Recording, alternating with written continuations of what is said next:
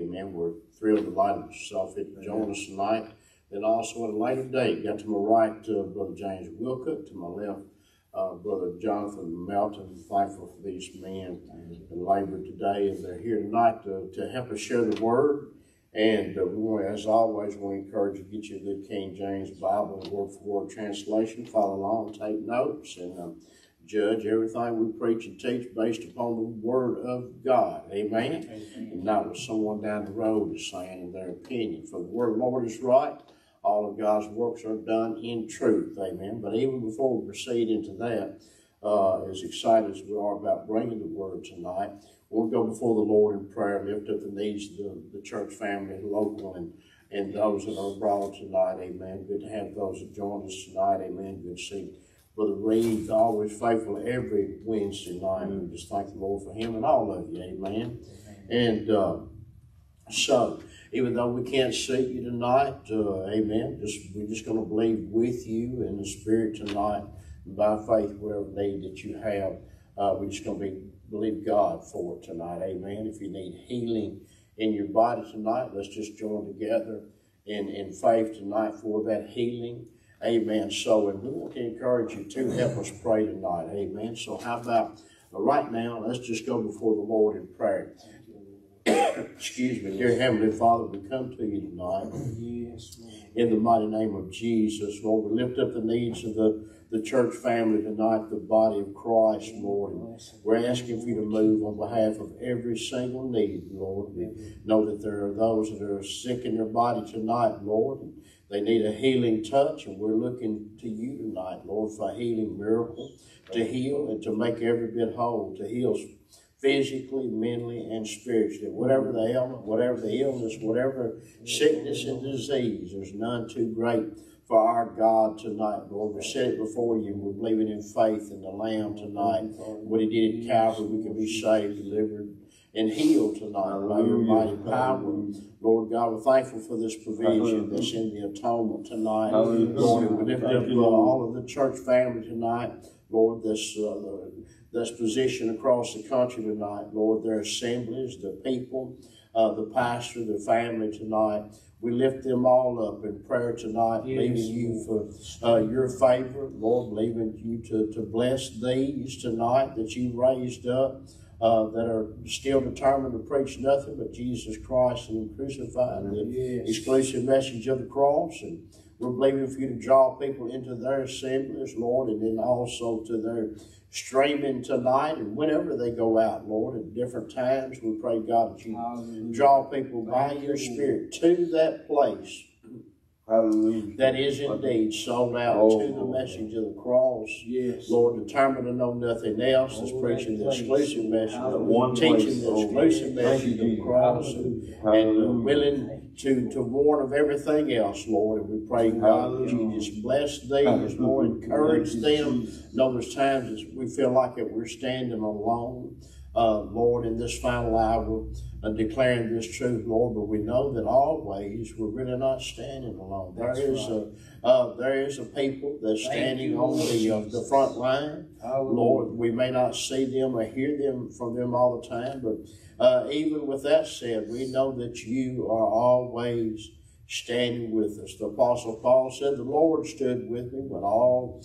Uh, had departed, Lord. And uh, we're not saying that any has departed from this fellowship, but we're saying sometimes we feel like uh, that we're standing alone. But Lord, uh, we're believing we're believing the Lord for strength, and uh, we're believing the Lord for uh, His grace, Lord, to help us, Lord, to keep our, our, our feet glued to Calvary's, uh, that place called Calvary, and, our hands welded to that gospel plow as we cling to the cross all the way to the end, Lord, and help us once again to continue to do, declare this great gospel, Lord, with uh, plainness of speech and clarity, Lord, without fear or favor toward men tonight, Lord. Let it go forth with uh, and that your word tells us it won't return void. We're believing that it accomplished uh, what it's set forth to do tonight, Lord. Believing for souls saved, bodies is broken, and lives changed by your mighty power tonight. Yes, tonight. We love you.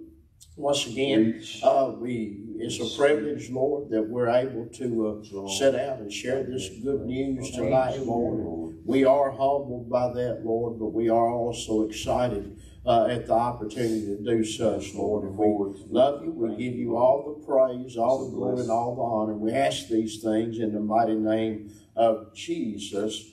and everybody said amen and amen. Hallelujah. And I apologize for the for the uh, the cough tonight. Amen. That seems to be uh, prevalent everywhere we go.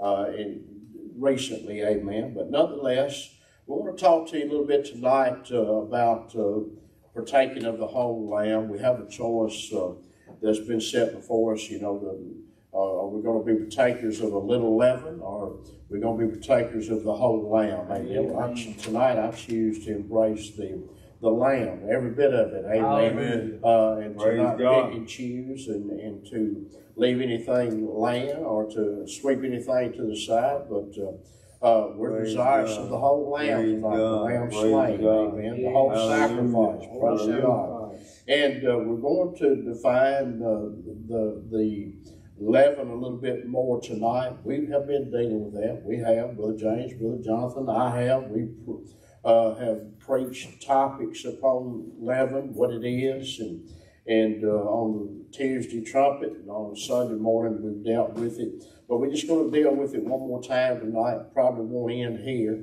but as long as we're here, and, and, and, and as long as we're on, on this planet, by the grace of God, we will continue to deal these with these things that, that plague the, the body of Christ. Amen. Amen. Praise God. Uh, I want to just uh, read you a, a, verse of scripture and uh, beginning in Exodus. Amen. And when I see Exodus, is all first thing coming to mind is always deliverance.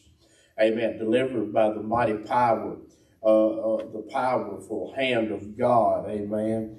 And that powerful hand of God has been outstretched to us through His Son Jesus. Amen. What He did at Calvary, Amen. That's where the connection is made, Amen. Yes. And uh, uh, so when I think about Exodus, I, I, immediately think about deliverance, deliverance from uh, uh, the, the the hand of the enemy, Amen. And those things that hold us captive, Amen. But I'm going to read Exodus chapter 34 in verse 25, and then I'm going to uh, uh, be uh, going to several different scriptures throughout the Word of God. Amen. But uh, Exodus chapter 34 and verse 25, it says this. This is the Word of God toward Moses and and uh, to us as well. Amen. Because it's applicable today. Paul would uh, would say basically this same thing in, in his writings, which I'm headed to in just a moment. But Exodus chapter 34 and, and verse 25 says, Thou shalt not offer the blood of my sacrifice with leaven. Amen. Amen. Now that's just pretty point blank. Yes. Uh, no beating around the bush, strong. It just means exactly what it means. And it's not hard to understand. Amen. But God says uh, thou shalt not offer the blood of my sacrifice with leaven. Neither shall the sacrifice of the feast of the Passover be left until morning. That means that we're to consume the, the whole sacrifice. We're not to leave anything on the table. You know, uh, the church likes to pick and choose uh, what they partake of, but we're to partake of the whole the whole lamb. Amen. Amen. We're to consume the whole sacrifice. And we're, we're not to be partakers of the sacrifice with leaven. Amen. We're, we're not to insert our thoughts, our opinions, our ways. We're not to embrace the, uh, the opinions or the thoughts of, of others.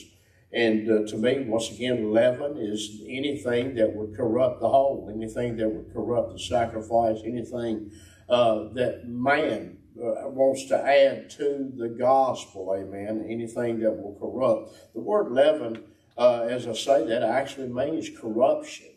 The word leaven means corruption, amen. Now let me read it one more time, Exodus 34 and 25.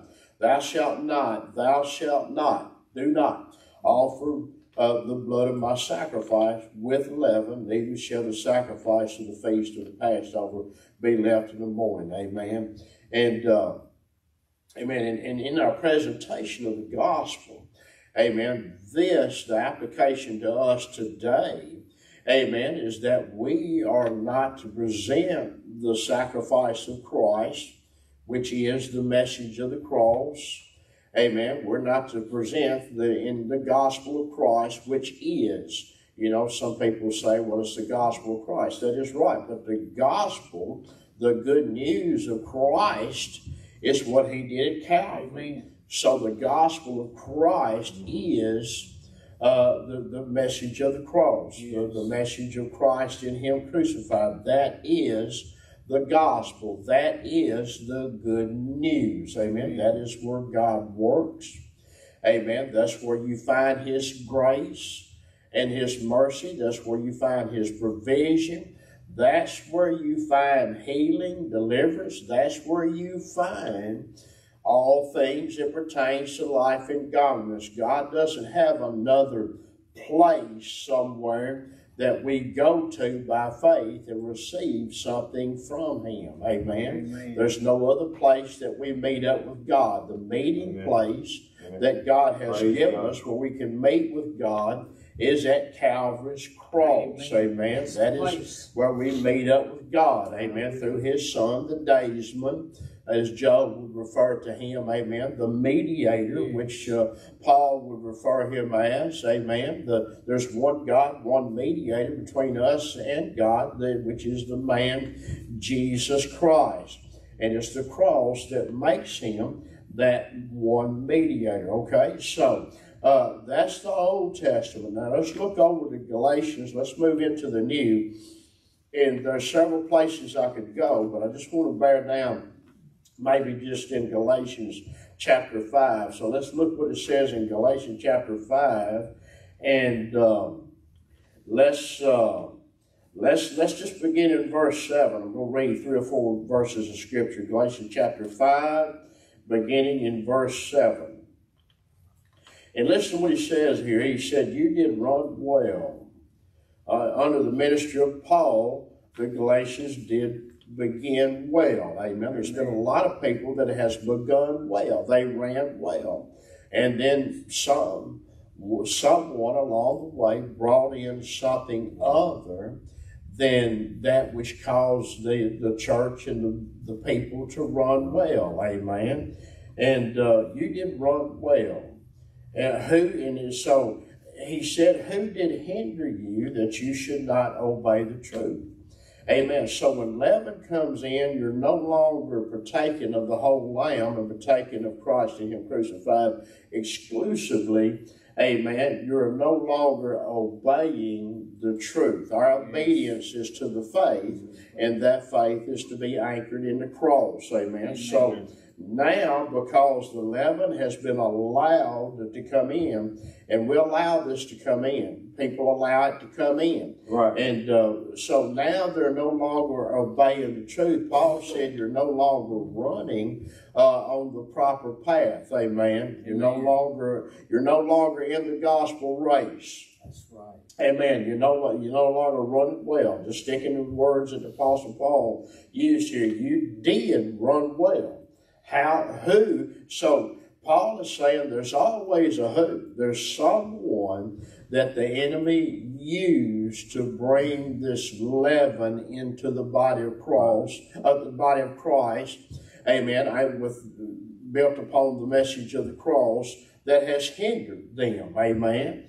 You did run well. Who did hinder you? That's how the enemy works. He works through people, yes. always working through people. Amen. And the majority of his time, the time that he's working, 99% of the time, probably 99.9% of the time, he's working through ministers and ministries of some degree, of some sort, or some title. He's, that's who he chooses to work that's through he does, because he can influence and affect a huge segment of the body in, in a large amount of people through an established minister or ministry. So that's the avenue that he is seeking to work through. How the enemy can influence a large amount of people with one effort through one individual. Amen. That's how he works. That's how he does. And uh, Paul said, You did run well. Who did hinder you that you should not obey the, the truth? Amen. I'm going to stick with the note here. Paul is referring to false teachers here who were attempting to pull the Galatians away from the cross to other things.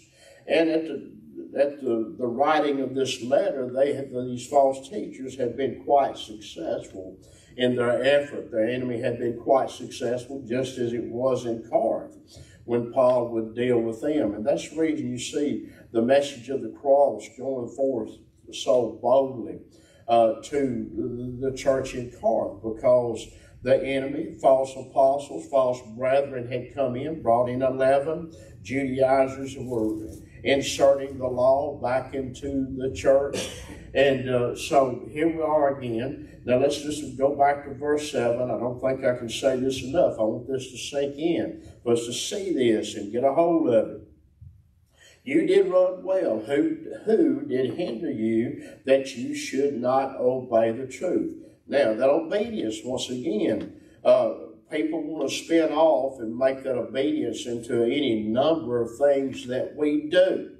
It's, it's, not, a, it's not something that we do, it's uh, maintaining our belief. Amen. Well, our, our obedience is to the faith to keep the faith. Hallelujah. That's how we obey the truth. That's it. We keep our faith. So our obedience is to the faith. Amen. Amen. And then if our obedience is to the faith, then God works in us. Amen. But if our faith is moved to something else, we're no longer running well.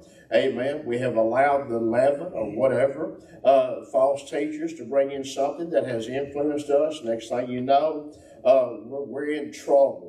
And if we stay there and continue there, amen, is the, the, the sin nature is going to rise back up, and then all sorts of, uh, man, we're just in big trouble then. Right. Amen. So to keep the, the sin nature in a dormant state, we have to maintain our faith in the cross. Amen. And then also, we cease to be a, uh, when, when we allow the leaven to come in, false teachers to influence us, we cease to be laborers in the harvest.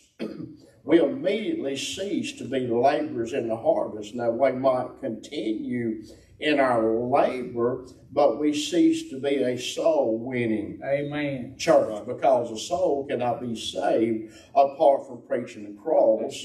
And that saved soul cannot grow and mature apart from preaching the cross. So we come in by the cross, we continue at the cross, and the cross will take us home. Amen. So he said, verse 8, this persuasion came not of him, speaking of the Holy Spirit. Holy Spirit didn't lead you in this direction. Holy Spirit didn't lead you in this path. Right. Now, what we're seeing is a lot of people today, right now, we're seeing people call this interference or this uh, leaven and, and, and they say, well, this is of the Lord. This is of the Holy Spirit. When it's not, how do we know it's not? Because the focus is not on the cross. That's how we know. The cross is our instrument for discerning. Amen. said, this persuasion came not of him, the Holy Spirit. Who calls you? The Holy Spirit, guess what?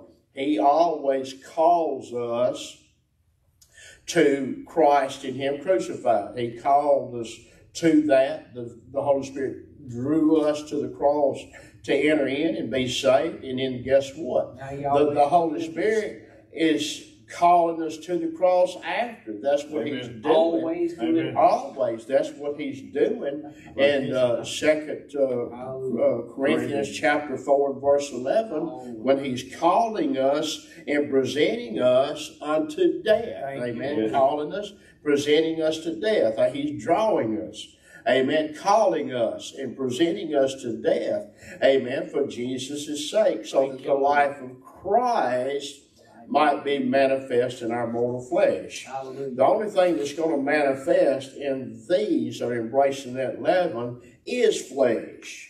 that which is of self, that which is of flesh. Amen. That's the only thing. And, and, and corruption, all of that is being manifested. Amen. If it's not dealt with, uh, that body, that church, and that people are, are in big trouble. They're already uh, got one foot on that road to destruction, amen. And it says, a little leaven leaveneth the whole lump. So here we are.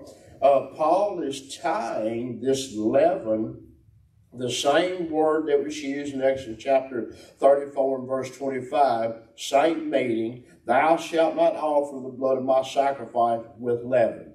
Amen. We're not to present uh, the cross with leaven. Anything Amen. tied to it is corrupting the, the whole. Amen. Amen. And, and look what Paul said. He said, A little leaven, corruption, leaveneth, corrupts the whole lump. Amen. Let's read the note right there. Lump. Did I say lump? A little leaven leaveneth the whole lump. A Amen. little contaminates, corrupts, and destroys the whole. Yes. And it will if it's not dealt with and dealt with quickly. Amen. Amen. And, and so, uh, a little leaven leaveneth the whole lump. The introduction of a small amount, listen to the words of the note here. The introduction of a small amount of false doctrine, that's your leaven, uh, is, is, is identifying it as false doctrine. Amen. The introduction of a small amount of false doctrine will ultimately consume the entirety of the belief system. Amen. So if we allow just a little bit to come in, amen, if it's not dealt with, if it's not purged, if it's not identified, repented of, and removed, amen, it will ultimately consume, the word used there will ultimately consume the entirety of the belief system. Amen. So we, we, you need to know this, ladies and gentlemen. You know, I've watched ministers over the, over the years, you know, they let their guard down. They allow a little bit here, a little bit there, a little bit here, and a little bit there. And the next thing you know, amen, over a period of time, maybe even years, because Satan is subtle in his work. Amen. He, he's subtle, and over a period of time, a span of years, next thing you know, uh, the complete, the whole belief system has been corrupted because they allowed a little leaven here to come in and it just manifested more and more and more. Amen. Now, ladies and gentlemen, we have to come to grips with this being the truth. Amen. The word of the Lord is right, and all of God's works are done in truth. We have to understand that what God's word is saying here is right, whether we like it or not is still right. still right. Whether we embrace it, whether we receive what's being said, it is still right. No matter uh, our position that we take in the matter, God's word is still right.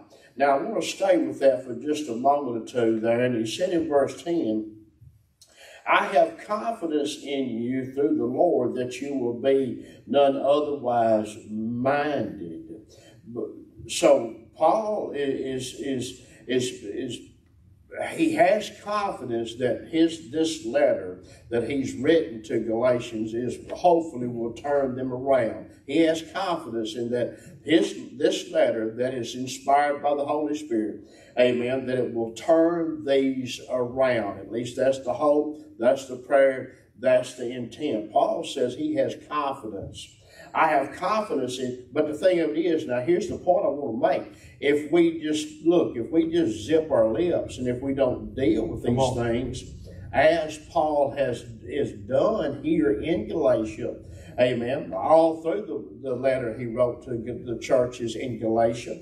If we just ignore it, amen, if we don't deal with it, amen, well, it's just going to manifest and get worse and worse and worse.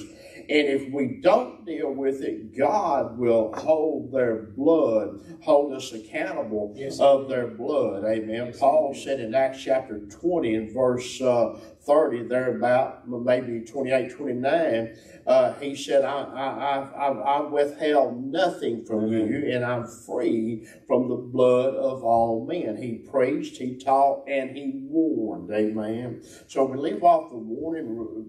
Uh, part, we're not really preaching the truth, amen, because the, if we call the Word of God truth, if we call the Scriptures truth, and it is, amen, it most certainly is, uh, over half of the Bible is about warning. It's about the lie. Amen. Over half of it is about the lie. So the lie is anything that moves us away from the truth, and it has to be dealt with, and it has to be dealt with strongly at times for the sake of the souls of the people. Amen. Nobody's motive is ever to, to to bash anyone, to tear down any ministry. The, the motive is always for people to run well, just as it was in verse 7. Amen. To, to remain on the path of the just, to continue on the narrow path that God honors, to remain in the faith and be not moved away from the hope of the gospel. Amen. Praise God. That's the reason we warn. We don't we don't want to build us up. Amen. We're not trying to tear anybody down. We're not trying to build us up in the process. Amen. The the motive is the love of God within uh, and, that's motivating us for the souls and the sake of the people. Amen.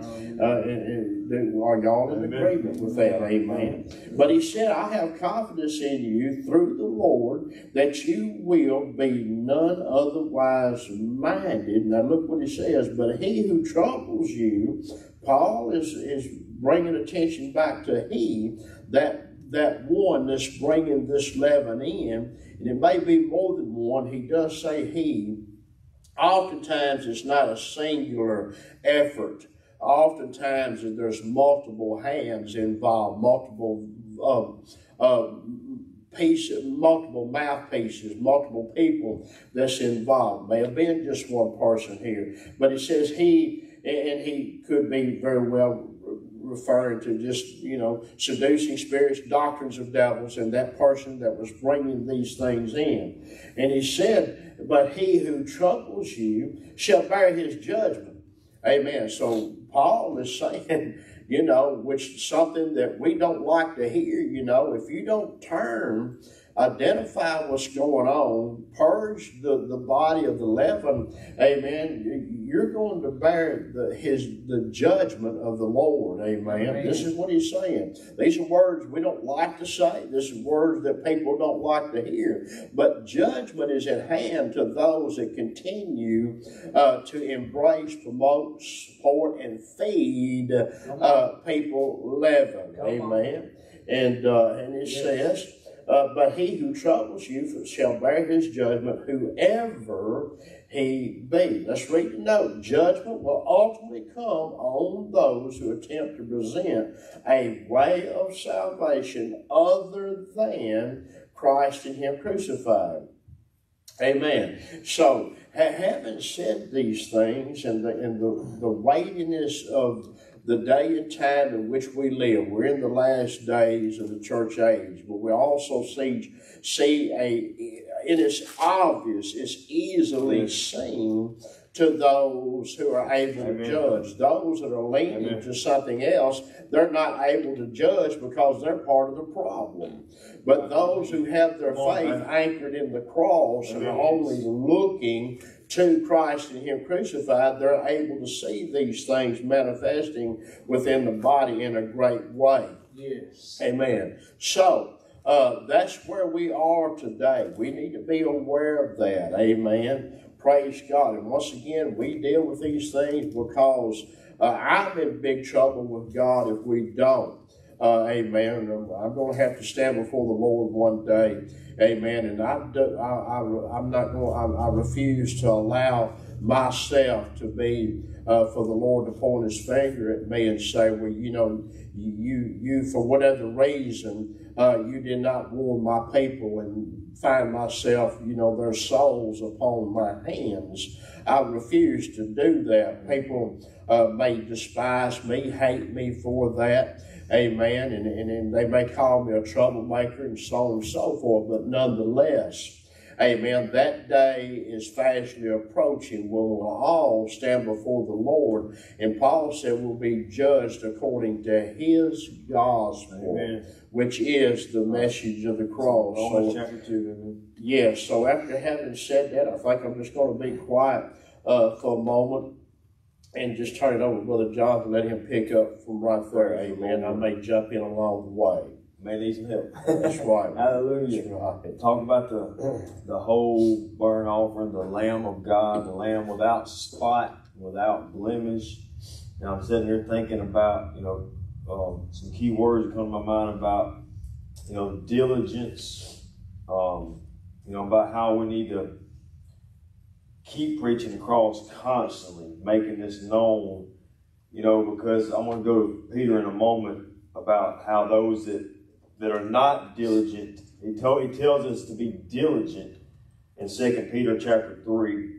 Um, because those that are unlearned, they wrest the scriptures. So when you think of um, Twist. not you know, twisting, I was thinking also about Paul said in Timothy about the church will not be able to endure sound doctrine in the end times. And endurance has to do with patience. Um, by not having patience, if you look up that word patience, is one of the definitions of patience is endurance. You know, the church is not able to endure sound doctrine because they they they, they they say there's more to it than the cross. Got to be more. You know, they're not satisfied with the lamb. But I was looking over here um, in Proverbs eight and eight and nine. It goes along what you said about we got to make it plain. You know, and, and those that have understanding. You said something along those lines, and I thought about this. All the words of my mouth are in righteousness. Yes, yes. There is nothing forward or perverse in them. Praise God. We see right there that God does not accept anything perverse, anything forward, any, any leaven at all. This is God speaking. All the words of my mouth are in righteousness. There is nothing forward or perverse. They are all plain Yes. to him who understands Right. and right to them who find knowledge. Glory to God. Um, and I, I, I jotted down Matthew 13, 12. Jesus said, To him that has shall be given, Right. and to him that has not shall be taken away, even that which he has. And that has to do with, you know, the correct understanding, you know, more light has to do with light. You know, if we're if we stay in the light as he is in the light, you know, Psalms we read the other day, Psalms 39, I think it's verse 8 or 9, it says, In your light, O Lord, we shall see the light. Right. You know, and, and those that see the truth and they and they and the Lord He reveals it to us. We we won't fight against it if you know if we know this truth is this truth is what works. Amen. Praise God. I got um, another scripture. I want to go to Second Peter in a second, but I was going along what you said over in uh, Exodus uh, 34 25. I want to read that again, then I'm going to go to Leviticus chapter 6. You shall not offer the blood of my sacrifice with leaven, Right. neither shall the sacrifice of the feast of the Passover be left unto the morning. And I I thought about something else that kind of goes along with that. I think it does. And maybe y'all can help me explain it. But it says in, in Leviticus 6, 12, and 13, And the fire upon the altar shall be burning in it. It shall not be put out. And the priest shall burn wood on it every morning and lay the burnt offering in order upon it, and he shall burn therein the fat of the peace offering. The, the fire shall ever be burning. I love that. The fire shall ever be burning upon the altar. It shall never go out. I want to I want to read the note in verse 12. Is the, the fire that burns and was to never go out testified on the one hand to the unceasing delight of God in the sacrifice of Christ, and on the other hand to his unceasing hatred of sin. Yes, yes. False teachers today put this fire out by denying the doctrines of the atonement and of the wrath to come. The fire address, addresses both atonement and wrath. You know, the, Yes, the, burn, yes. the, the fire of the altar represents, and when we see the cross, when we hear the true cross message, that we see the meaning of the cross, which means judgment of sin and also the, you know, the atonement, God's love. We see God, God reveals, you know, that our sin, we see our sin Yes. put Christ on that cross. And we know, if we know that's what saved us in the beginning, praise God. And God hates sin and he also hates false doctrine. Why can't the church get a hold of that? Yeah. We know we come to the cross for our sin, and we, we those of you listening, you know that it was your sin. you had to, you know, when we got saved, it was because of our sin. We had to repent of our sin. He died for our sin. But then it seems like the church has an issue, as you said, the issue with the blood. He told one time Right, he preached about right. that, that woman with the issue of blood. He preached a message called the, An Issue with the Blood. The church has an issue with the blood for all things. So they don't have a problem with the blood for their sin coming. Well, I, I already took care of the cross. I, I came to the cross for my salvation. And, and people get so bent out of shape about false doctrine when we deal with that. But God hates it all. He hates sin and he hates leaven. Right. Praise God. Uh, we, we go, we can't go just a little bit further than that. What you're saying is absolutely right. But uh, that fire is to never go out. amen. And, uh, you know, the, when you look at Elijah's altar on Carmel, you know, God sent the fire when he put everything in order. Amen. So it identifies with his acceptance of the offerer. You know, if, if we offer up the proper sacrifice, then he accepts the offerer. Amen. And he accepts our he accepts us based upon our faith in the sacrifice. Thank And it God. also speaks of judgment, amen. If you're not embracing the cross and what Jesus there did, what judgment, God's judgment, uh, falls upon us. But if our faith is in the cross, the judgment falls upon Him. Amen. His death on the cross, He was crucified, sacrificed uh, for us. That's the atonement that you're talking about there. But also another meaning of that fire, is to never go out, speaks of the refiner's fire because he's always sanctifying us, you see, burning out, melting out uh, uh, the dross and removing that so that, uh, you know, how the finer looks. When I say finer, I'm talking about the, uh, uh, the silversmith, you know, he'll put that silver in a in a, in a cauldron, I guess you could call it that. He heats it up, you know, and, and in the process of refining that silver, the dross and the impurities rise to the top, and then he scoops that away. He removes that those impurities, and what that finer, which Christ is the Amen. finer. Christ is the finer. Amen. What he's looking for by heating that that material up and removing that dross is he's looking for his reflection. You see. So the sanctification process, amen, that fire is to never to go out in our lives because we're in constant need always uh, for Christ to be revealed in our life more and more. It's a constant process, amen. We're uh, the sanctification process, amen. It's always less of us, more Him.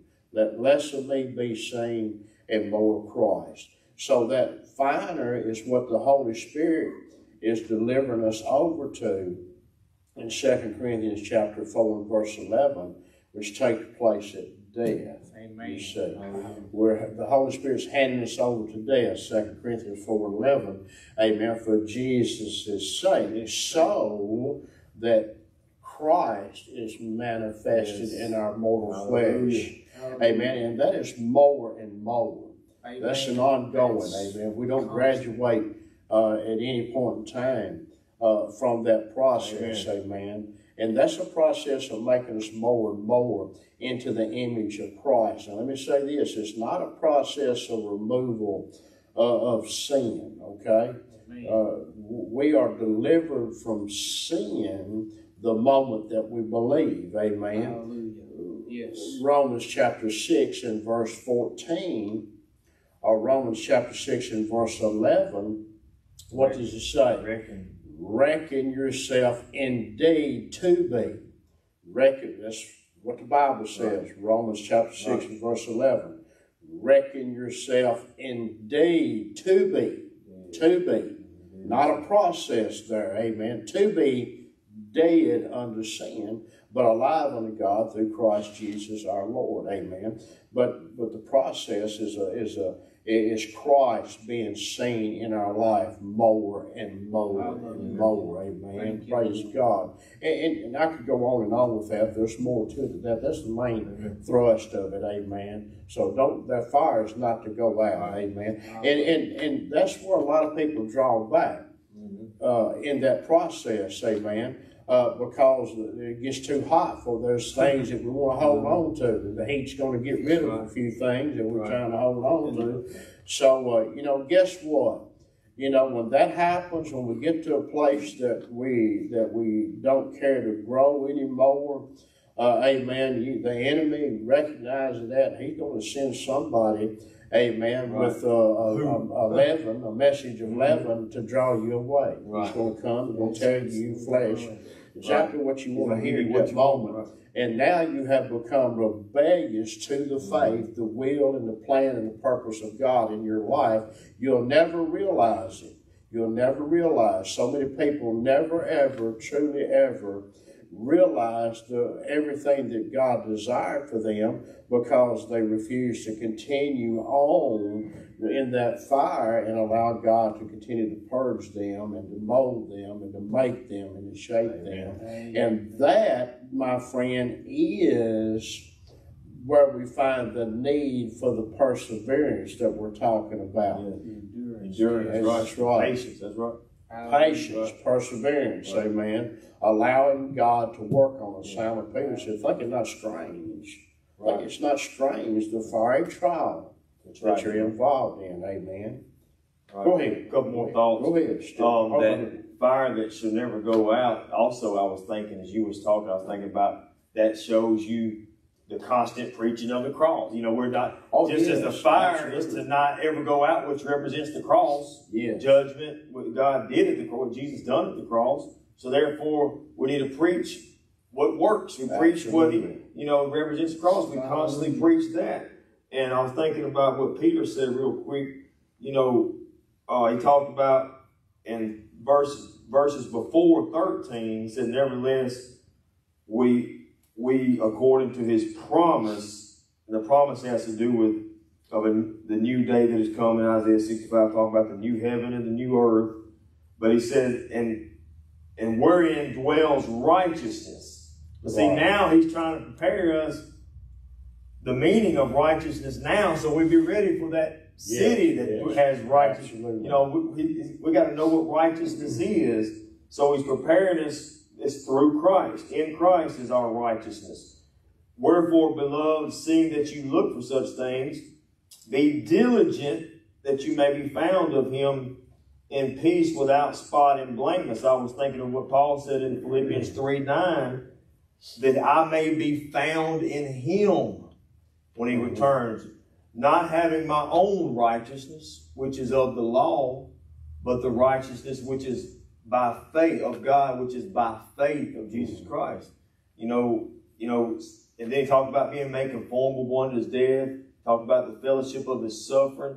So we see right there in the way Paul preached that the cross is for everything. You know, being found, you know, the fellowship of his sufferings, being made conformable unto his death. That's the same thing as Romans 6, you know, that brings us back to Romans 6, being baptized into his death. Yes. You know, being made conform, being made conformable. Unto his And, death. and Peter preached the same thing. You know, people were trying to say, well, they preached it. No, they preached the same thing. They didn't preach any different. They had different vocabulary, maybe, but it was the same message. Let me show you.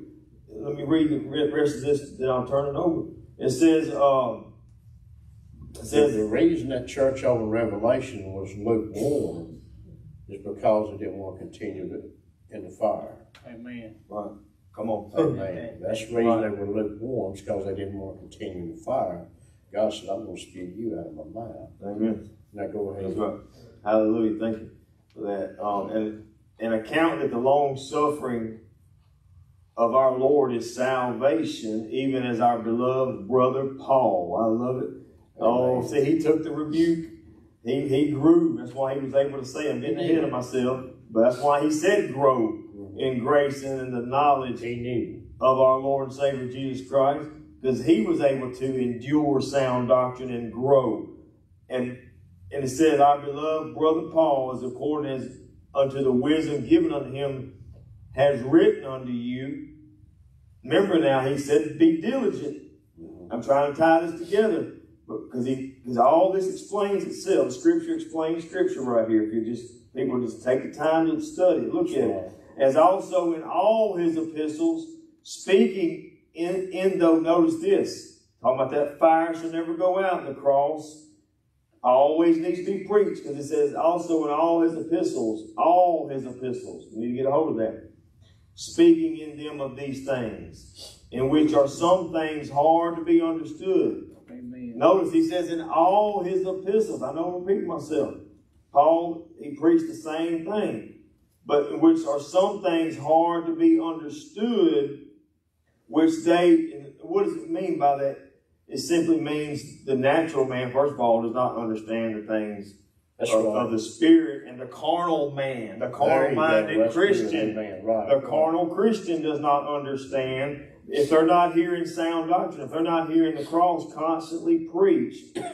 That's why there's so many. That's what, see, a misunderstanding of the cross or a, a denial of the cross, anything negative regarding the cross is where all false doctrine has started. That's why there's all false doctrine, all, and all these different works of men, not works of God, is stemmed from a from people doing what Peter said not to do. You know, re- rest in the scripture. He said, which they that are unlearned and unstable wrest, which means to damage the scripture, twist them and damage, as they do also the other scriptures unto their own destruction. See, therefore, beloved, you therefore, beloved, seeing you know these things before, beware lest you also being led away with the error of the wicked, just like Paul said to the Galatians, you know, somebody came in, some who, one of those who, who has influenced you. Who has done it? So Peter is saying, beware lest you also being led away with the error of the wicked fall from your own steadfastness. Read verse 18. I want to explain that for, for a few seconds. But grow in grace and in the knowledge of our Lord and Savior Jesus Christ. To him be glory both now and forever. Amen. Notice in verse 18, in that one phrase, in that one verse, we see everything we need is in Mhm. our Lord and Savior. Jesus said, grow in grace. We got saved by grace Yes, yeah. through faith in what Christ done at the cross. And he says right here, grow in that same place. Back to that place. That same place. Grow in grace and in the knowledge of our Lord. That phrase is very important. We read over that often. We just, oh, that sounds so simple. We think it is a simple statement, but it's very powerful. N- grow in grace and, the, and in the knowledge of our Lord and Savior Jesus Christ. That tells us right there, that phrase, Lord and Savior Jesus Christ. It's the same thing Paul said in Galatians 1, I think it's verse 3.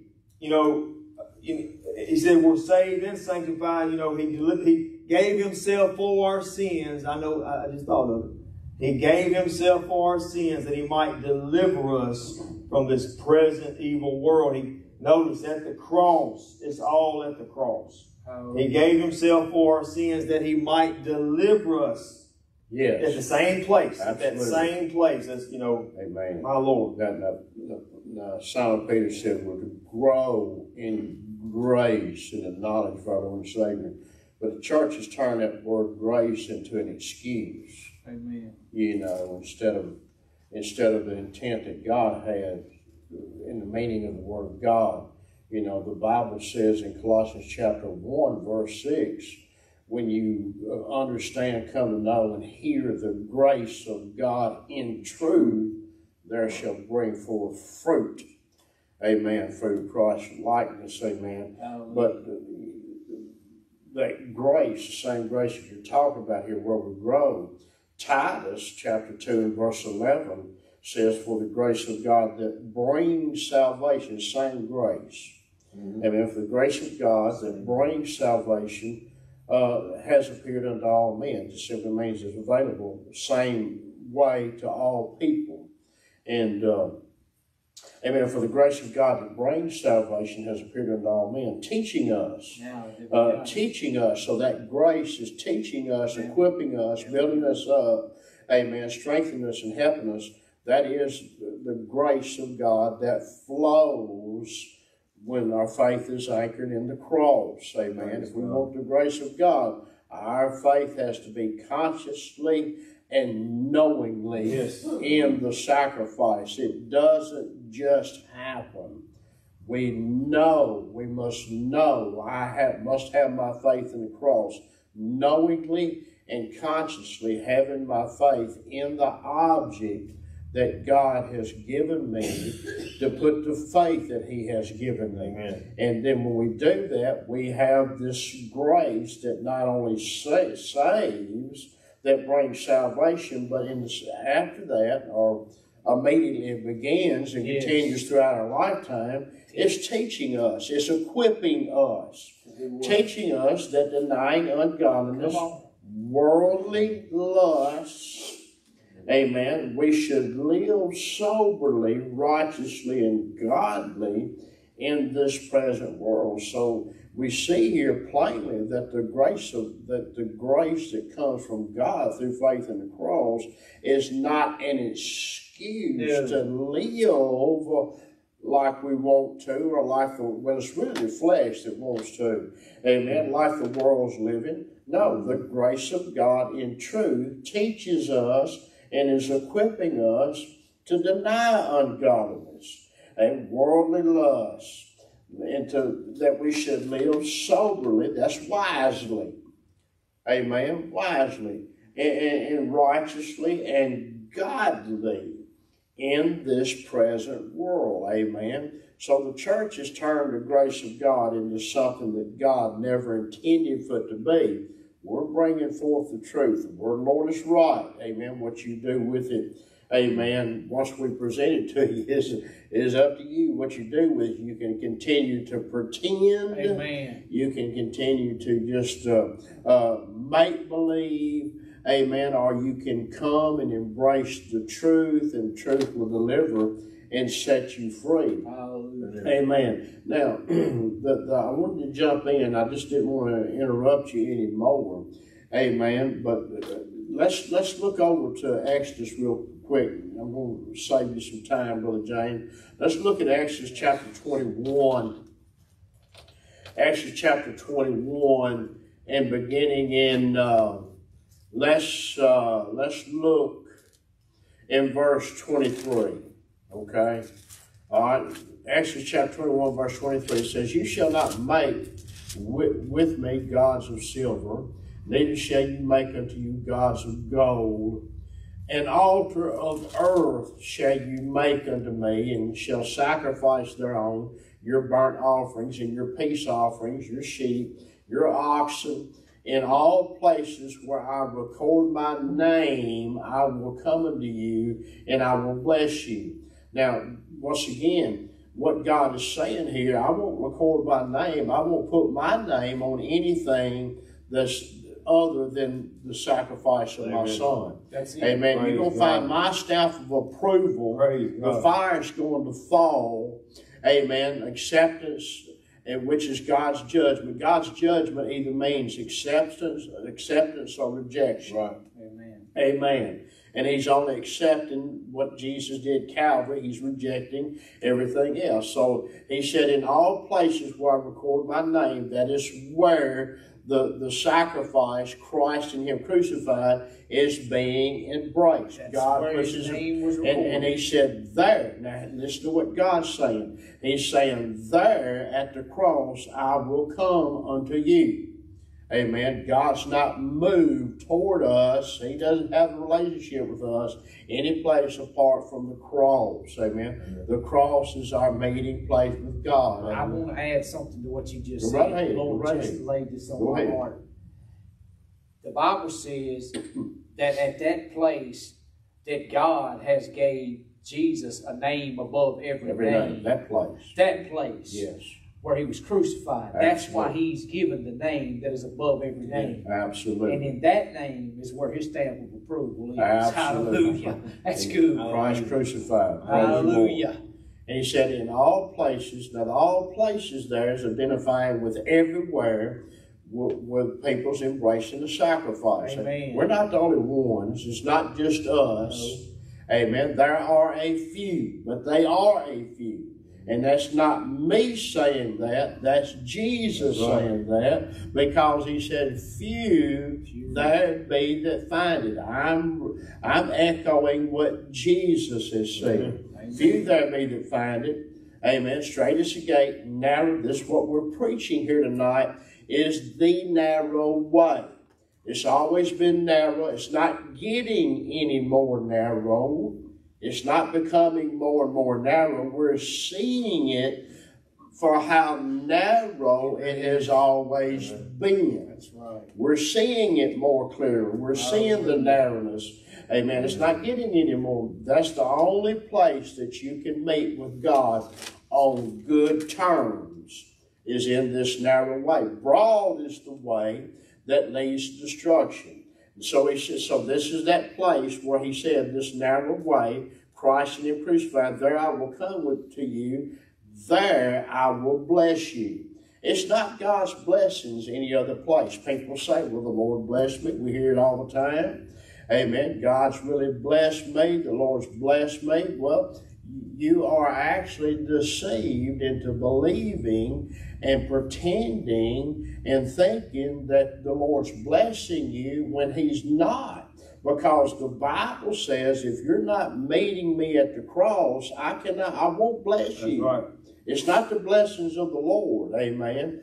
There may be uh, things that we label as blessings, but it's not coming from the Lord. Amen. Apart, it's, it's you know, it, it's it's a curse Right. apart from the Lord, amen. That's what the Bible says. It is a curse. That's what the Bible says. He said, I will bless you, and this is what I'm, that's good right there. Amen. Yeah. Praise God. In verse 25, it said, if, if you make, if you will make me an altar of stone, which is right, the, the, the, their, their building of altars would normally be, before the temple was constructed, uh, or the, the tabernacle of uh, Solomon and some of these uh, finer tabernacles, amen, it was generally made of a, a heap of a mound of dirt. They would put stone on it, just like Elijah uh, when he rebuilt the altar on Carmel. Amen. He stacked up stones. Normally, it would be 12 stones. Amen. The number 12 is always identifying that's God's number uh, for, for the government. In other words, so God is saying, This is where I work. Amen. This is where I govern. This is where I work. That's what the number 12 means. But anyhow, it says, You shall not, you shall not build it of hewn stones. In other words, God says if you put your hammer or tool to it and shape it in any fashion, that's a work of, of the flesh. That's you're putting yourself into it. God refuses it. He won't accept it. That's leaven. That's a mixture. Somebody bringing in something other than God's way. So you, you, we're, we're told plainly not to put a tool of it and hewn it. Amen. And what does the church like to do? They like to they like to put flowers all over it. They like to pretty it up and doctor it up, put blue lights on it, purple lights on it. Yeah. And, and they like to, you know, just Decorate. uh, decorate it. Amen. Right. Smoke- Let smoke screens. I'm glad you said it like that. Let Christ be our ornament. Amen. Amen. Let Christ be our ornament. Amen. Don't don't take a tool of any sort. Amen. And, and, and, try to, to pretty it up. Amen. It's to be understood as a bloody sacrifice. Amen. It's to be understood as a bloody cross, which to, it was. That's what it was. Right. It was the Lamb slain. Amen. When He died on that cross, His life blood poured out on of Him and saturated those that cross and the ground under that. Amen. He said, "Don't take." Uh, you shall not build of it in hewn stones, for if you lift up your tool upon it, you have polluted it. Just as if you bring in leaven, just as if you bring in some kind of mixture. The leaven may be pretty.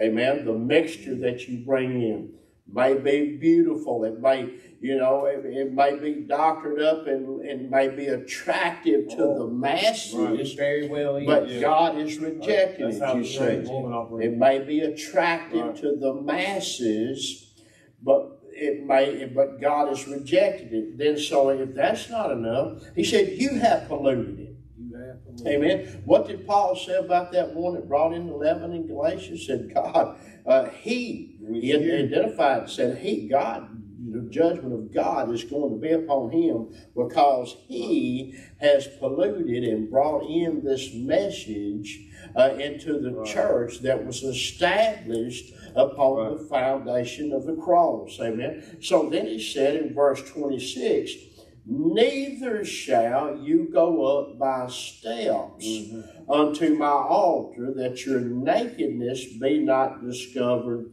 thereon. Amen. That the nakedness there is, you know, we're covered in righteousness, that our nakedness be not seen. That righteousness is the blood of Christ. Amen. Christ is our righteousness. Amen. Apart from that, when we put our hand into it, we put our tool to it, Right. and we're bringing mixture and leaven, guess what? Our nakedness uh, is being seen. In other words, we're having no covering Right. about us except for fig leaves, Right. and that's a product of our own doings and our own hands. God, that's saying that God is rejecting that. Amen. Right. He said, God is wanting to look, He desires to see us dead and our life hid in Christ. Right. He wants to see us in Christ, dead Yes. and our life in Christ. What is that, Colossians 3 3? Yes. Yes. Uh, we And are dead in your life. and our life is hid in, in in Christ in in God. Yes, amen. In God.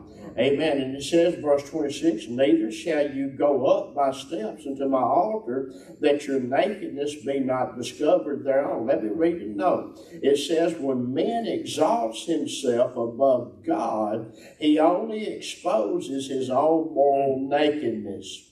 The cross of which the altar was a type must not be changed in any Oh, way. If so, meaning if men try to picture or present Christ in another fashion rather than plainly Jesus Christ and Him crucified, they then find themselves with another Jesus. Oh, my. Of the gospel. another gospel. Mama. Amen. It's by another spirit. He said, lifting up the tool upon the stone, desiring to make it into their own likes or dislikes, thereby pollutes the message. This is the great sin of the modern church. This, remember, I've been using that terminology, the sin. Amen. We're either we're either involved in the sin or the lie. Excuse me, the lie or the truth. They lie or the truth. Well, they lie is the sin that the church is involved in of taking, uh, well, just turning the gospel into something other than the cross. Right. When the emphasis is on the Holy Spirit, you are is in the Holy Spirit is the third member of God. You've heard me say it repeatedly. We're going to keep saying it. Amen. When the emphasis uh, is of the message, the ministry, when the emphasis is on the Holy Spirit, you are presenting another gospel. He is, yes, indeed, the Right. third member of the Godhead. Yes, he is vitally important.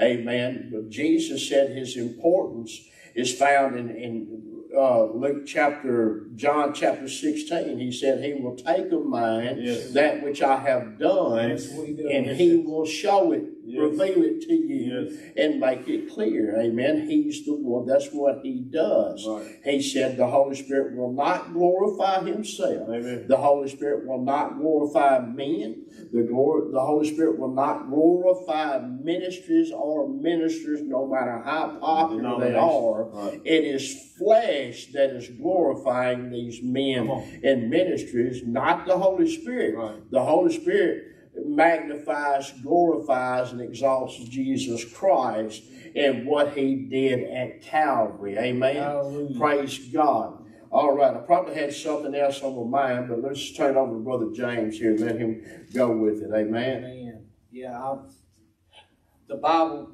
Yeah, I want to. I want to go back to Galatians, where where you read Galatians chapter Five. five and verse ten. Okay. And it says, "But he who is troubled you shall bear his judgment, whosoever he be." And you read the note there, and I just want to, uh, you know, the note says, "Judgment will ultimately come on those who attempt to present a way of salvation other than Christ and the cross." Let me take that a little bit further. Go ahead. It's not just them presenting another way of salvation, but anything that pertains to life and godliness, when they begin to steer you away from the cross, it's leaven. Right. It's leaven. So they may come at you with salvation in Christ and Him Yeah, crucified. they say that. yeah. But then, here comes the leaven. Right. here comes the leaven. What's, you know, and leaven, Jesus said over in Luke 12, Jesus said, and in the meantime, I'm in Luke chapter 12, verse 1. It says, and in the meantime, when there were gathered together an innumerable multitude of people, insomuch that they trodden one upon another, he began to say unto his disciple, First of all, beware ye of the leaven of the Pharisees, Right. which is hypocrisy. And, and that word leaven, I, I got this, is to make light of. Right. To make light of That's right. the church that presents Christ crucified for salvation and then goes on to lighten the cross, no longer preach the cross, and tell you that you're eternally secure just because you believe one time, That's right. but they preach something other than Christ and Him crucified. Mhm. Listen, you're not growing in any of that. That's right. Can't grow. You're not That's going right. to grow in that.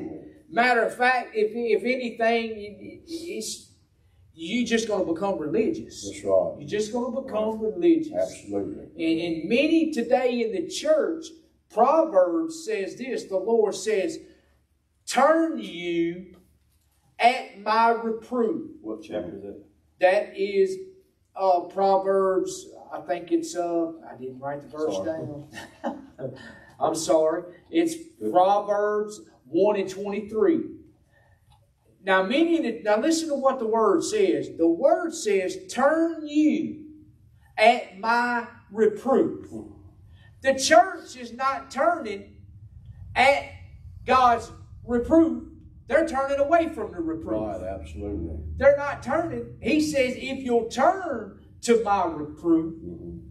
he says, Behold, I will pour out my spirit upon you. Yes. Cross over. It says, I will make known my words unto you. This is what the Word of God says. If we take His reproof, His reproof is for us to no longer be operating in flesh and religious activities and all these things that uh, that we have received from the knowledge of man, which is hypocrisy Mhm. and it's leaven, but that we would, but that we would do this. The Bible says Therefore, I will not be negligent to put you always in remembrance. Always. This, Oh. this is Second Peter. He says, always in remembrance of these things, that you know them and be established Oh, my Yes. You know in this present Oh. truth. Come on. The only way that you're going to be established. In Christ Jesus Yes. is by the preaching of the cross. Right. The Bible says that it is foolishness unto those who are perishing, but unto us who are saved, it's the power of God. Right. What power is that that we have? I'm going to keep reading in Second Peter. It says, Yes, I think it meet as long as I am in this tabernacle, long as I'm still breathing Uh, long as I'm still sitting here and I got a breath in me, that I stir up by putting you in remembrance, knowing that surely I must put off this tabernacle, not knowing when it's going to happen, folks, but one day I'm leaving this place. Don't know when it's going to happen, even as the Lord Jesus Christ has shown me. Moreover, I will endeavor that you may be able, after my decease, to have these things always in remembrance. What things? These things that Christ has done at Calvary.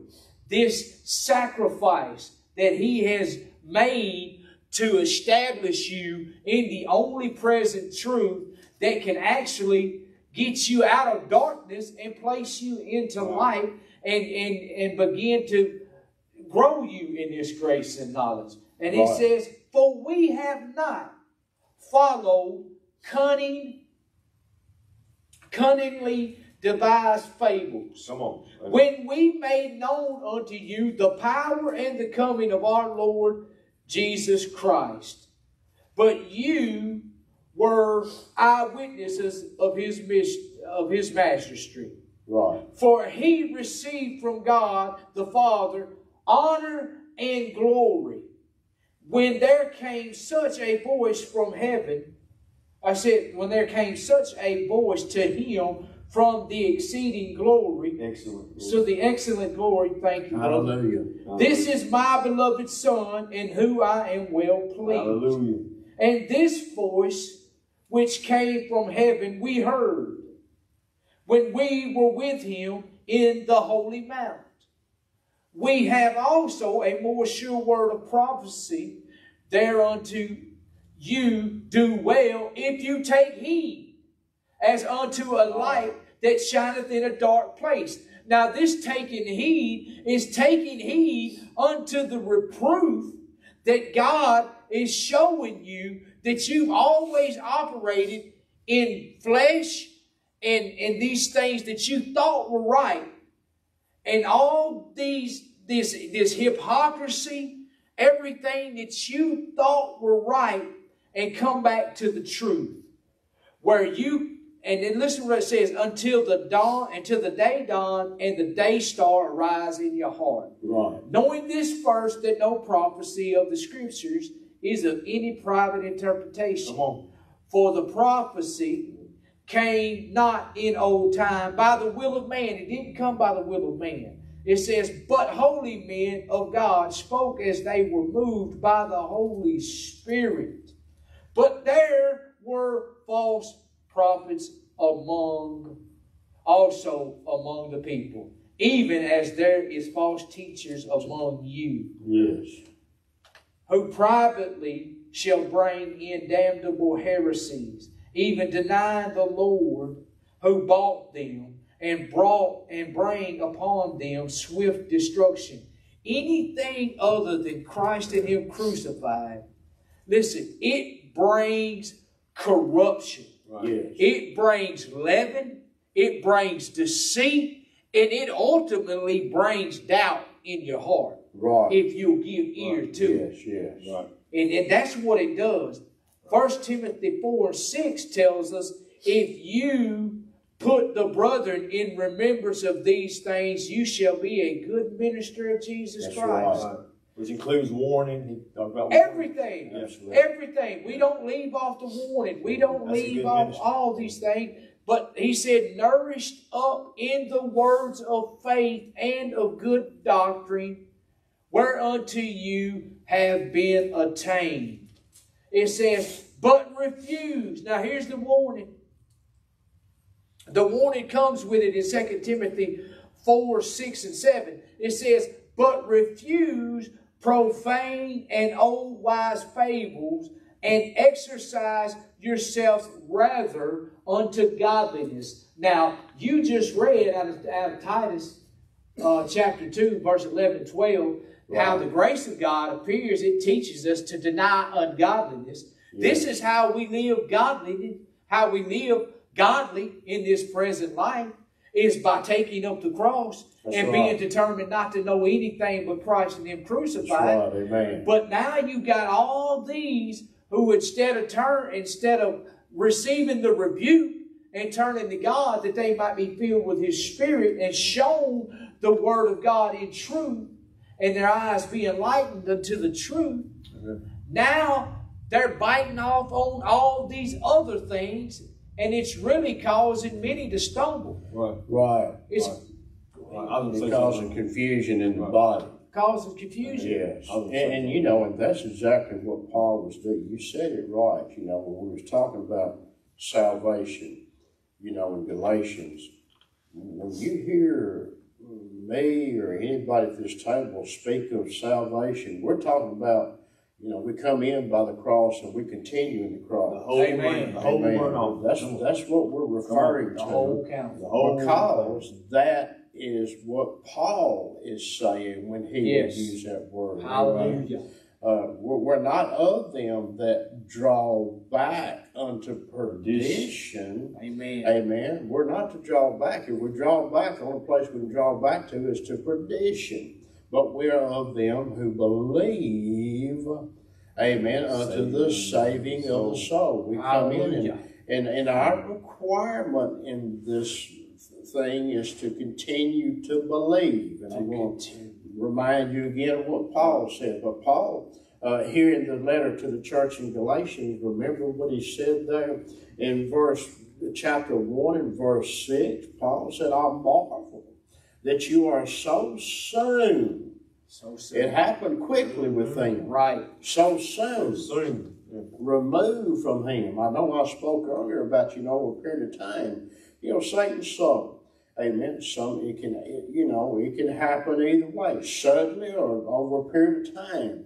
Amen. But he said, I marvel that you are so soon removed from him the Holy Spirit who called you into the grace of Christ unto then look, he called it another gospel. Another gospel. Another gospel. Yes. Well, what was they moved over to? Well, mainly it was the law. the Judaizers came in and influenced these, amen. And he said, which is not another, but there be some who trouble you and would pervert the gospel of Christ. Right. So, you said it, and I'm going 100% agree with you. You said it. Amen. If we're not continuously pointing the people to the cross for life and living, for sanctification, set apart for service, growth, all of that, and, and, and everything that we have need of, we have, according to the Word of God, uh, have perverted the gospel. We have preached it's no longer right. the gospel. We have perverted yes. the gospel. Amen. So it's not well and good. It's not well enough to just say, well, they're saved.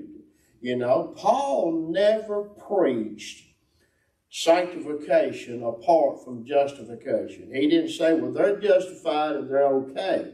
He didn't preach that. You won't find it in his teachings. Amen. When he when he spoke when he spoke about salvation, he was including the being justified and sanctified. Because if, if if we don't stay in it, we will lose the hope of the gospel. We will lose our soul. We'll lose our salvation. That's the reason Paul warned. We preach, we warn, we teach. And, and, and, he, and he said in, in Colossians chapter 1 and verse 23, amen, to continue in the faith. Yeah. to be steadfast, Grounded and settled. grounded and settled. I always stay steadfast. I just just Well, they say steadfast, they same the thing, same thing. grounded and settled, Yeah. steadfast, and, and be not moved away from the hope of the gospel. What is the hope of the gospel? Entrance into salvation and then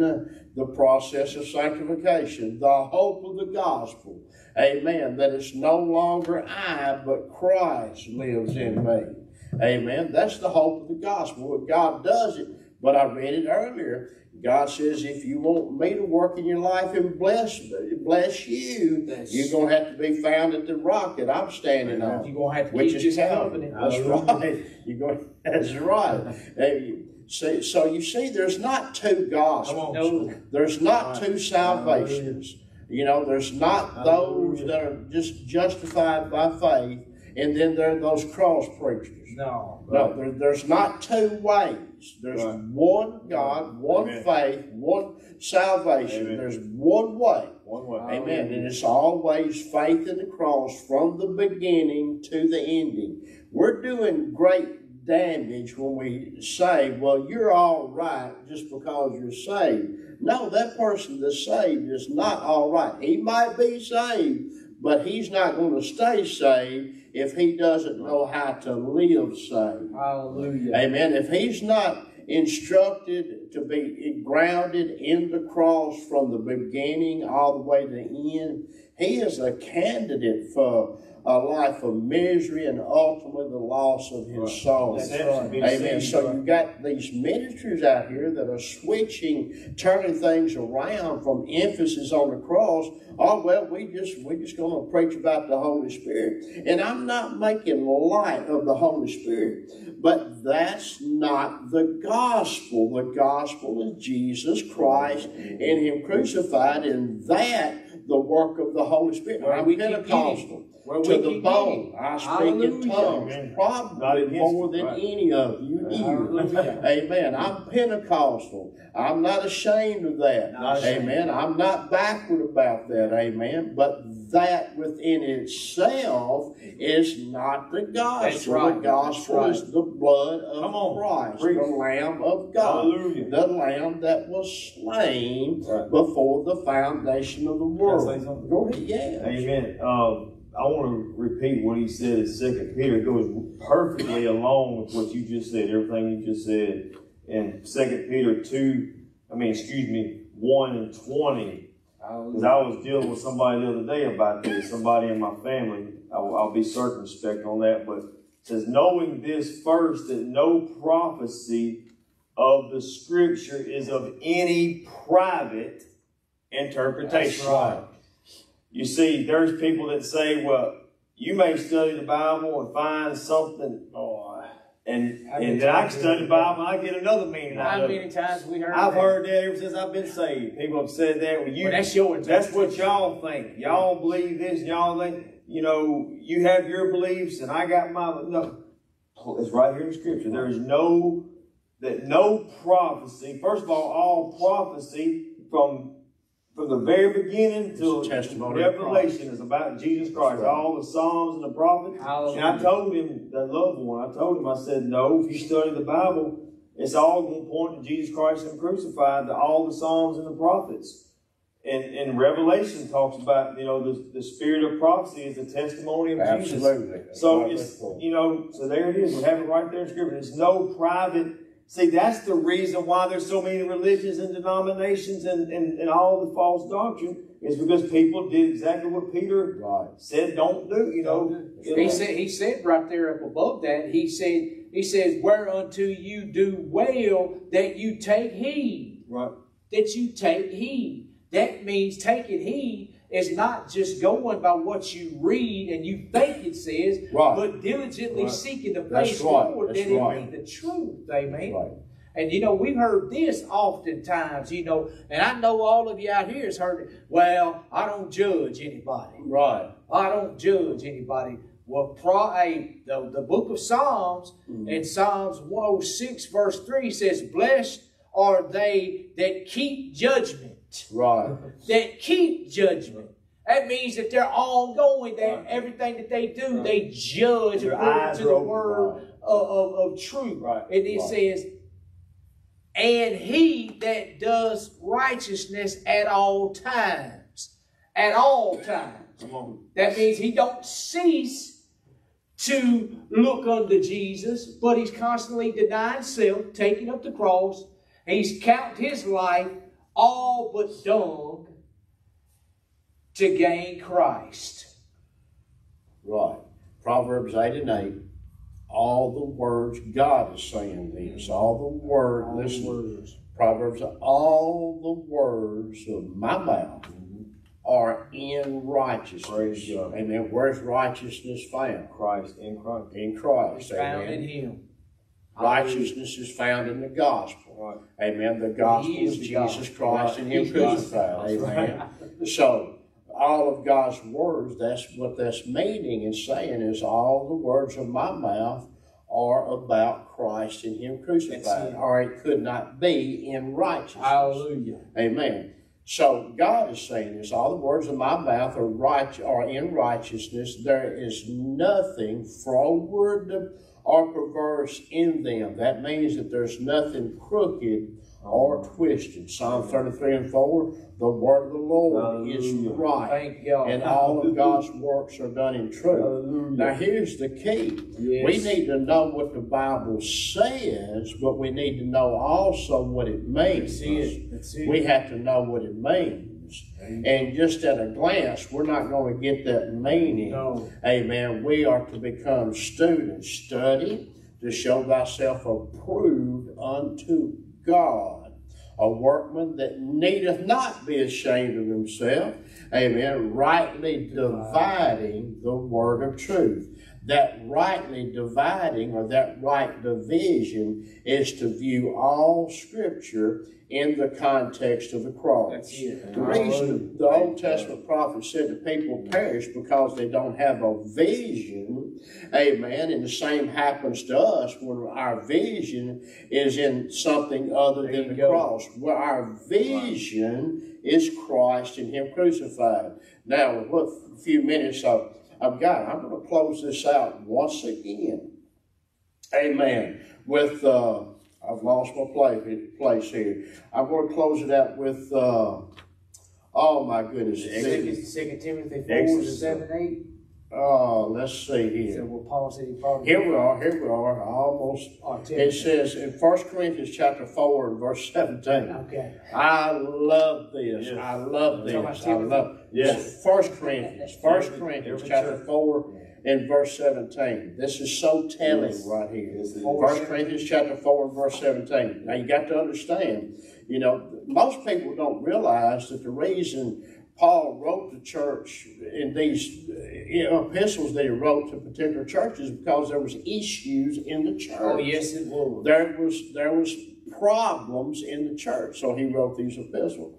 The church in Corinth was was in big trouble because it was being influenced by fake false apostles that had come in from. Jerusalem Yes, presenting uh, letters of commendation, Mm-hmm. and the church in Corinth was buying off on these false apostles Right. and just kind of swept, well, not kind of, did sweep the teachings of the apostle Paul to the curb, and Right. that the very gospel that they were brought in on.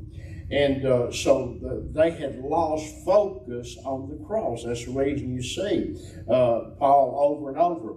For the preaching of the cross is to them that perish foolishness, but to us which are saved, it is the power of God. I'm determined not to know anything among you save Jesus Christ and Him crucified. We preach Christ crucified. So we see that written there because that church was in trouble, headed in the wrong direction. So Right. do you see there the answer, the right. need in the wrong direction? Paul, what does he do? He gives them the cross. He brings them back Praise to God. the very Yes. place that they were uh, saved in the Oh, beginning. come That church that's going. AWOL, amen, has to be brought back to where they Come on. began. That's every. Who has bewitched you? There's the you did run well. There's Yes. the. Amen. Who Yes. has bewitched you? That's it. Amen. That you would obey the proof, yeah. uh, uh, another spirit. Amen. So Paul says, 1 Corinthians 4.17, For this cause, what I just said, Yes. have I sent unto you Timothy.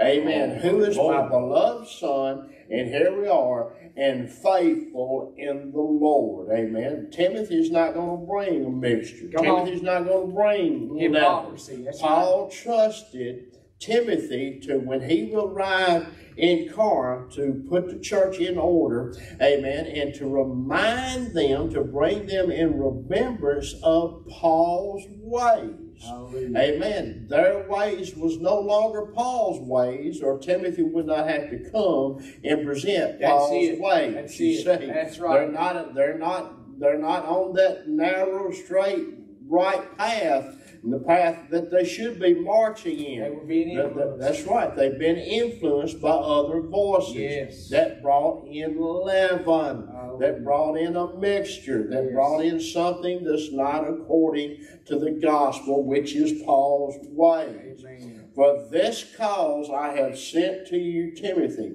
Now, to, Paul did not send someone to this uh, church in Corinth that did not understand the message of the cross for sanctification. He sent Timothy. That's right. Amen. The modern day church is giving anybody and everybody the microphone. That's right. And and just, you know, to, man, we just got to have our uh, buddies and pals, you know, Yeah. preach.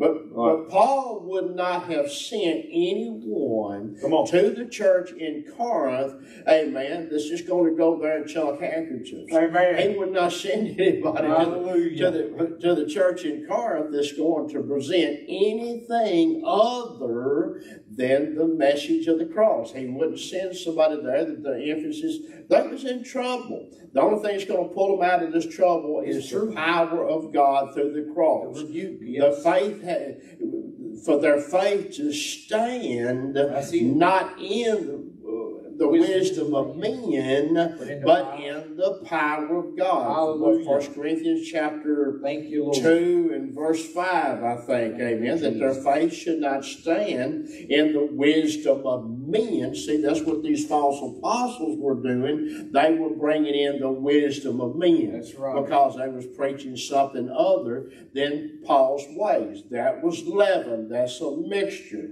Amen. So he said, For this cause have I sent unto you Timothy, who is my beloved son, and faithful in the Lord. Come. Faithful in on. the Amen. Lord. Amen. What the church needs to hear, amen, today, every church, is those men and women that are faithful in the Lord. And that faithfulness is to the cross. Hallelujah. That is Yes. what God identifies as faithfulness. We read it in Exodus. If you want to be blessed of me, you have to be faithful to where I'm standing. That's. And that stand, I'm standing over there on a rock that was pierced. Amen. Amen. Christ in Him crucified. So He said, Amen. My my beloved son, faithful in the Lord, who Paul knew he would bring the people, bring you into remembrance of my ways. And I've already said it over and over. What was Paul's ways? Oh, Christ I'm crucified. determined not to know anything among you save Jesus Christ and Him crucified. That was Paul's ways. We preach Christ crucified. That was Paul's ways. It's just so evident Right. here, but this this was the same thrust and emphasis of his epistles and ministry into every Right. church that had every problem. And it's there if you desire to see the There truth. That's right. But if you desire to, to justify what you want to put emphasis on, you will be blinded to the truth. Amen. Right. We have to desire to see the truth. Those that hunger and thirst after righteousness, amen. God will reveal it to them. Yes, He will. Amen. He will. He will show it to them. Amen. So that the, he knew that Timothy would bring them into remembrance of Paul's ways, not the person of Paul.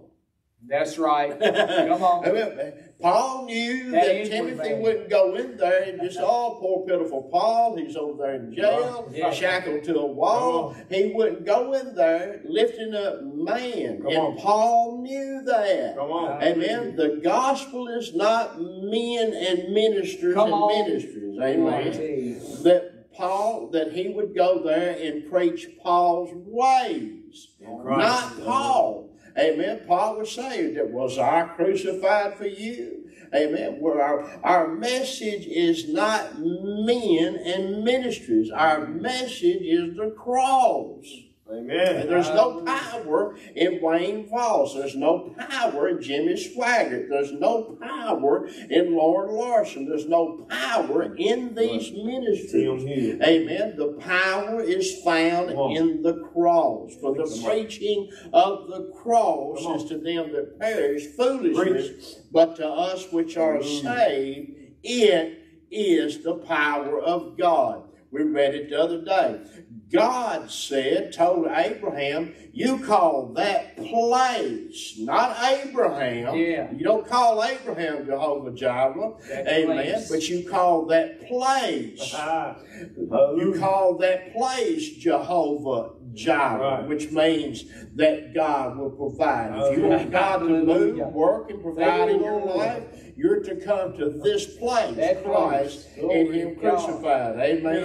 And it says there, uh, said, uh, my ways which be in Christ. It's not in men. It's not in this world. It's not in humanistic psychology. Amen. My ways are. In Christ. Amen. Even before the foundation of the world, the cross was in Christ. It was always in Christ. It was always on his mind. He set his face like flint Yes. on Calvary.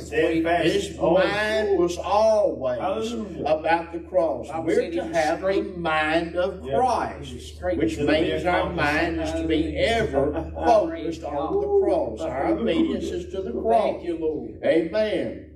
And it said there, which be in Christ as I teach everywhere and in every church. So when Paul wrote this letter to the church in Galatia, he's presenting to them the avenue of truth, which is to come back to the cross. Amen. Corinth, Galatians, Philippi, Colossae, uh, Thessalonica, whatever the church is, wherever it is, uh, whatever, wherever the church is, no matter what the problem is, the answer is the cross because there, why is it the answer? Because uh, if we're presented the cross, my will, my ways dies I there. see it. Amen. Flesh is dies right there. We're dead to it, brother. And then the spirit can begin to work That's again in our life. Amen. The spirit hallelujah. lusts against the flesh. The flesh lusts against the spirit. Amen. And it's not always easy to get these fleshly things out of our life. No, they're not. Amen. Remember Abraham? What did God tell him? Amen. Said the bondwoman and Ishmael's got, to go. They have to be cast out. Got go. Amen. They have to go. That because the the the Ishmael was persecuting the, the child of promise, which Right. was Isaac. Amen. Right. And the same thing also today. Mm-hmm. If you allow the flesh to flourish and it's not dealt with through the cross, amen, it will it will persecute, amen, the the, the spirit which is faith in the cross. Right. It It will, perse- it will frustrate. turn, it will frustrate, it will tear Right. down. Yes, it will. It will bring leaven in. Amen. So flesh has got to go. Got to. It has to be expelled, or we cannot walk according to the Spirit. Amen. You, and the Spirit is always going to be faith in the cross. Amen. Yes. He, the Holy Spirit, Jesus said, He will take that which is of mine Hallelujah. and He will show that to you. The Holy Spirit, in closing, never magnifies men, no matter who they are. That's right. He only men magnifies magnify men. That's right. And that what gets me is men will magnify men and say, oh, it's of the Lord. When it's not, it's of the flesh. Amen. You know, I like what Brother Curtis said the other day. He said, you know, flesh, self, can feel just as comfortable sitting on a church pew, uh, or more comfortable, more comfortable sitting on a church pew than it will sitting in a in a in a nightclub. Amen.